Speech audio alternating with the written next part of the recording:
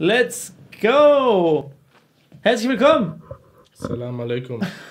Der Janelle ist immer wieder motiviert, wenn wir Podcast aufnehmen, ohne Witz. Ich bin sehr motiviert. Hört man mir das nicht raus? Ja, doch, doch. Man, man merkt, wie motiviert du bist und wie sehr du dich Wunderbar. immer, immer wieder freust, hier im Podcast teilzunehmen. Wir müssen mal gucken.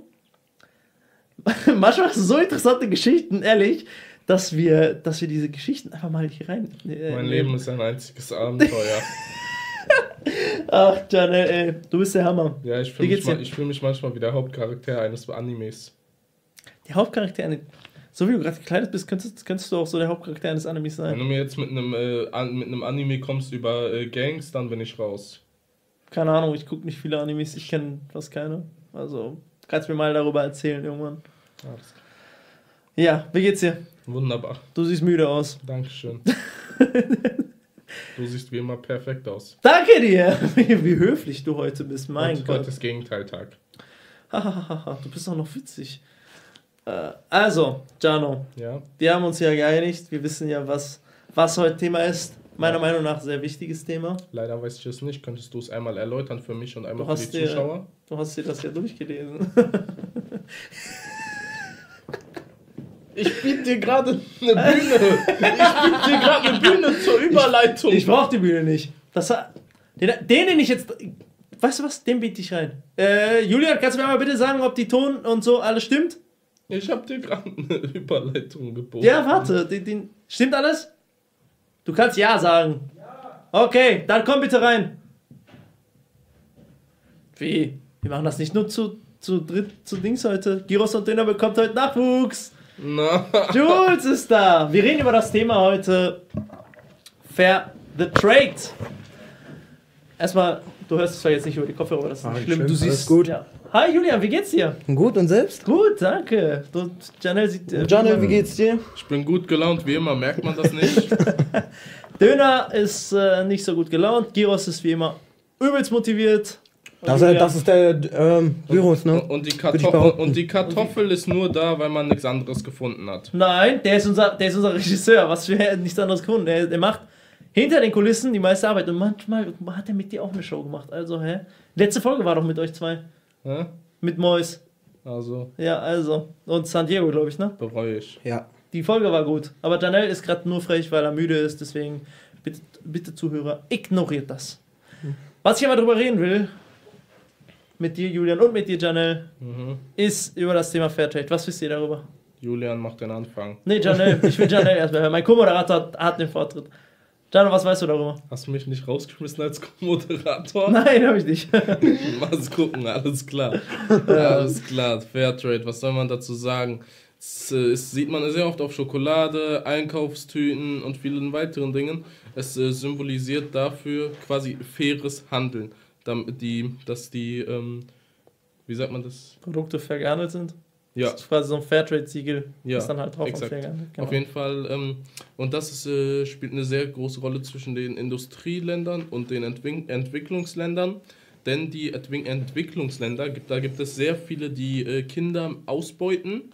Da gibt es auch einige große Marken oder Unternehmen, wie man sagen will, die das auch machen. Mhm. Und Fairtrade macht sowas eben nicht. Die sorgen dafür, dass alles, alle mäßig gleichberechtigt sind. Genau. Und dafür steht halt das Fair, danke Janelle, dafür steht halt das äh, Fairtrade-Siegel an sich. Ähm, da steht halt darauf, dass die Produkte fair gehandelt wurden, sprich mit äh, richtigen Arbeitszeiten, also legalen Arbeitszeiten und äh, ach nicht, was für legale Arbeitszeiten? Fairen Arbeitsbedingungen, legalen Arbeitszeiten. Ich war da, ich war kurz im Kopf bei Arbeitszeiten. Zwangsarbeit. Bei, nee, tatsächlich nicht Zwangsarbeit. Das ist bei, es gibt ja halt auch Länder, bei denen unfairen Arbeitsbedingungen ist, die dann halt durch Zwang, Zwangsarbeit ihre Produkte machen. Und es gibt halt Länder, wo es unter anderem faire Arbeitsbedingungen gibt, wie zum Beispiel in Deutschland. Regionale, regional kann man dann einkaufen, zum Beispiel Kartoffeln oder nicht Schokolade kann man nicht regional einkaufen. Ich Nein, glaub, nein. Äh, Kartoffeln kann man regional Richtig. einkaufen. Genau, und sowas. Und das sorgt halt für faire Arbeitsbedingungen und wir. Ich bin halt der Meinung, erstmal Julian, was hältst du davon? Was ist so deine Meinung zu Fairtrade? Was äh, kennst du für Fairtrade-Produkte? Was kennst Also, wenn ich ehrlich bin, ich kenne mich mit Fairtrade nicht so aus. Hm. Ähm, Ich habe ab und zu mal was davon gehört, vielmals von euch jetzt. Hm. Durch euch habe ich das gehört. Vielleicht Ähm. kennst du es in manchen Läden wie äh, Rewe oder Netto, da sind auch immer so Stofftaschen und da ist auch zum Beispiel das Fairtrade-Logo drauf. lass ihn mal das erzäh- erzählen und ich zeige Ihnen das gleich. Also, ähm, ich kann mich, ich habe es halt nur von euch so gehört. Hm. Ähm, und wie gesagt, ich habe mich noch nie so mit sowas äh, richtig auseinandergesetzt. Ähm, weil ich davon halt auch nicht so viel gehört habe. Kennst du, kennst du das Siegel? Ja. Genau, das, Das ist. Fairtrade-Siegel. Genau, das ist meistens, ups, das ist meistens halt auf äh, Schokoladen, auf Keksverpackungen, auf Kaffee und so das kenn weiter. ich. Auch auf Tüten, wie das der Einkaufs meinte. diese ähm, Stoff. Stoffbeutel. Stofftüten, genau, die haben das auch und die sind halt fair gehandelt. Das heißt, sprich, das wurde von Menschen gemacht, die halt unter fairen Arbeitsbedingungen dann, ähm, die dann faire Arbeitsbedingungen hatten. Genau, es gibt halt Länder, wie gesagt, wo es halt, das hast du mir ja gerade gesagt, Janelle, wo ähm, Kinder, Kinder gearbeitet haben werden. und werden, werden ausgebeutet, die verdienen, hast du gesagt, 5 Cent pro Ein Einball. Beispiel gibt es anscheinend in Indien, wo zum Beispiel Fußbälle hergestellt werden. Da müssen die Kinder das von Hand nähen und das hatte ich auch einmal in der Schule als Thema. Und zwar kriegen die für einen genähten Ball, was mehrere Stunden Arbeit ist, 5 Cent Hammer. weniger. Ja. Und deswegen ist uns das auch hier im Cast das äh, Thema Fair, Fairness und Fairtrade sehr wichtig. Wir haben ja auch hier, ich weiß nicht wie sehr, ich glaube, du hast es mehr in den Ferienspielen mitbekommen als Ja. Janelle. Ähm, In den Ferien war ich Knockout. ja, wir haben halt in den Ferien äh, ein faires Fußballturnier gemacht, ein faires Basketballturnier und wir wollen halt ein bisschen faire Produkte mehr einbringen hier im Cast und Mhm. wollen halt auch faire Turniere mehr machen und die dann halt fördern und mehr äh, an die Öffentlichkeit bringen und auch mit euch zusammen die machen, deswegen die zu machen. Und deswegen hier meine Frage an euch. Was könntet ihr euch vorstellen, können wir hier machen, um Fair Trade und faire Produkte und an sich Fairness auch in anderen Ländern weiter zu fördern? Was kann man hier machen?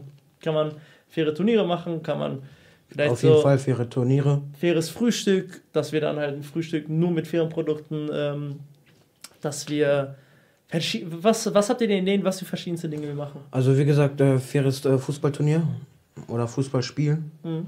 Ähm, weil es gibt einige Kinder aus dieser Einrichtungen oder anderen Einrichtungen, die das vielleicht auch hören, unseren Podcast. Mhm. So, und äh, gibt es vielleicht einige Kinder, die, sag ich jetzt mal, fußballverrückt sind. Mhm. So, und ähm, das weiß man halt ja nicht immer. Wie hoch ist eigentlich die Chance, dass äh, wir haben zwar nur sehr wenige Zuschauer, was den Podcast angeht, aber wie hoch ist die Chance, dass einer dieser Zuschauer Lionel Messi oder Cristiano Ronaldo ist? Weiß ich nicht. 0,0001 Prozent. Aber die Chance ist da. Das Warum ist doch sollte das- was Gutes. Ja, vielleicht hört ihn ja Ronaldo, der hat ja auch einen YouTube-Kanal, also Grüße gehen raus. Ja, finde ich auch Schöne krass. Grüße. Ja, der hat auch, der hat den Kanal einfach nur für nix erstellt und hatte direkt an einem Tag äh, hier, mh, keine Ahnung, den meisten Rekord für Abonnenten in kürzester Zeit aufstellt, plus mehrere Play-Buttons direkt. Was soll man Ja. sagen? Was hast du noch für Ideen, Julian? Vielleicht kommen wir zu dir, Giano. Ach hast so, du für Ideen? Du? äh, Ich dachte, du meinst jetzt das Channel. Nein, was du noch für Ähm. Ideen hast, vielleicht so das. Wie gesagt, auch äh, faires Frühstücken für die Kinder und dann, also erstmal für den Kinderbereich und dann sage ich jetzt mal Faires. zwei, drei Tage später dann mal für den Jugendbereich. Ja. Faires Abendessen oder was? Genau, ein faires Abendessen für die Jugendlichen und ein faires, äh, sag ich jetzt mal, Mittagessen für die Kinder. Kochen wir nicht oft hier im Cast? Ja, manchmal tatsächlich, aber ähm, Momentan nicht. Schöne Grüße an unseren Chefkoch, denn wir haben hier einen Besucher, der äh, gelehrter Chefkoch ist und wenn der demnächst für uns kocht, dann bin ich ihm sehr dankbar. ja, da wollen wir noch in unserer Küche, die wollen wir noch ein bisschen upgraden. Und da wollen wir halt auch noch jetzt bald mit fairen Produkten kochen. Mhm. Das heißt, äh, wenn ihr dabei seid, könnten wir dann gerne so mit Gerne. Fair Trade Sachen kochen und auch. Ich bin Meisterkoch. Was kochst du auch? Was hast du denn für Ideen? Für, Was hast du denn für Ideen für. Wie kann man Fairness, Fairtrade an sich Ich habe keine Ahnung, aber auch an, die, auch an die Jugend äh, näher bringen? Genau, also tatsächlich, ich habe keinerlei Ahnung, aber ich könnte sehr gut dabei helfen, Julians Ideen umzusetzen. Also würdest du, würdest du dich quasi dafür auch interessieren, Ja, so mit äh, faires Fußballturnier zu organisieren? Oder wenn man fair kocht, dass man einfach mal mit in den, Re in den, den Rewe kommt und guckt, was, Was, faire, was äh, Fairtrade ist. genau, was faire Produkte sind, was nicht aber du faire nimmst, Produkte du sind. nimmst mich in deinem Auto mit, oder? Nein, wir laufen dahin. Warum? Ja, weil an Übrigens sich. zur Info, ähm, die Stadt Dortmund, Mitarbeiter dürfen keine Jugendlichen oder Besucher viermals mit in ihren privaten Autos mitnehmen. Ja. So zur Info, er hat recht. Darf ich mir dann mal dein Auto leihen? Nein. Wenn ich Führerschein hab? Wo ist eigentlich Nein. dein Auto? Ich hab da, ich, das ist gerade in der Werkstatt. Ich bin mit dem Auto meines Vaters hier. In welcher So. Werkstatt? Keine Ahnung, in einer Werkstatt. Vielleicht kenne ich die Werkstatt. nee. Ich kenne ein paar Werkstätten, vielleicht kenne ich die Leute da. Sag ich denen, die sollen ein paar extra Kosten drauf. Nee, du kennst die Werkstatt nicht. Welche? Nur den Standort. Den Standort, ich nenne den Standort, weil ich, Nenn mir äh, den Standort. ich nenne den Standort, okay. Der ist am Trimonia Park. Oh Gott. Er hat gar keine Ahnung. Oh Gott. Der ist bei der, bei der EDG.